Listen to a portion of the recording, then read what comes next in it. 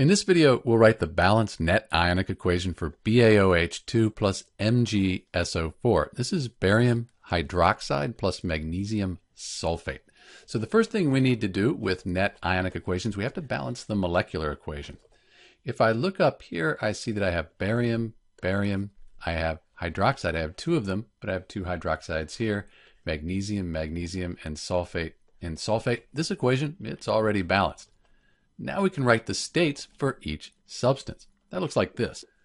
So many hydroxides are insoluble, but barium hydroxide, this is considered a strong base. So this is going to be aqueous. It'll dissolve in water, dissociate into its ions.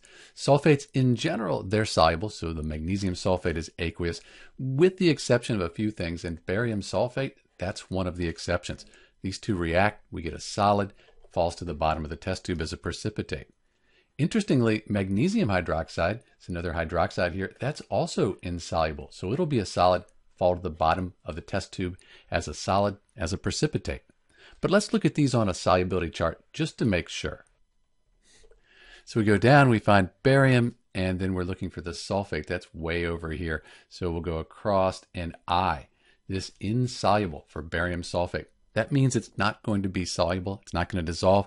It'll fall to the bottom as a precipitate magnesium, and we're looking at magnesium hydroxide. So we'll go over and then down, again, insoluble. So both of these substances are insoluble. So we have two precipitates when this reaction happens. And that doesn't occur very often. Kind of nice. Let's go back to our equation.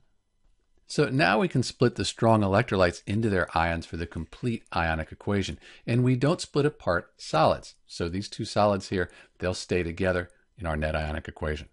That'll look like this. So at this point, we'll cross out spectator ions. They're on both sides. But everything is unique. We don't have anything that is the same in reactants up here and products. So this is both the complete ionic equation and the net ionic equation.